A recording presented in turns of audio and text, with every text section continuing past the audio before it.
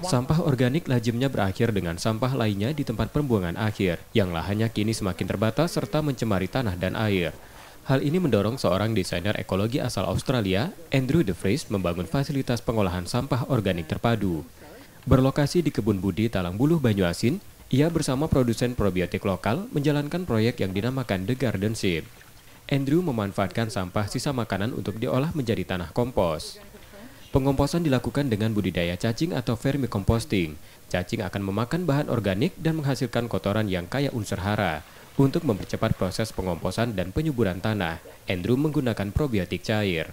Berbeda dengan pengomposan tradisional yang lama dan kurang oksigen, sistem vermicompost didukung probiotik cair membuat pengomposan berlangsung lebih cepat dan tidak menimbulkan bau. Sistem ini juga menghasilkan pupuk cair yang mendukung pertumbuhan tanah. When we look at um, compost systems in community gardens all over the world, most of the time they're, they're overheating and a lack of oxygen. And this is all over the world, and this is also domestic systems in Indonesia as well as elsewhere. So this environment of in-ground composting where the whole system is breathing and therefore we can compost safely and efficiently. Pemprov Sumatera Selatan mendukung pengembangan proyek ini karena bisa menjadi solusi penanganan sampah terpadu dengan memproduksi kompos dan menghasilkan tanaman pangan secara mandiri.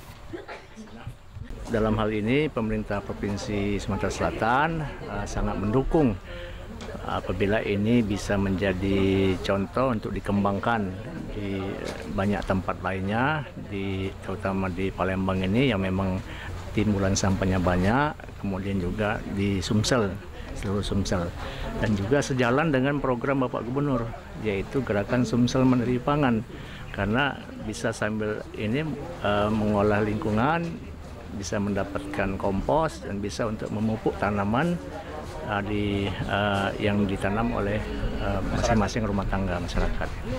Fasilitas serupa diharapkan bisa dibangun di banyak tempat, selain memadukan pengomposan sampah dan penyuburan tanah. M. Rizky Nurmizan, Kompas TV, Palembang, Sumatera Selatan.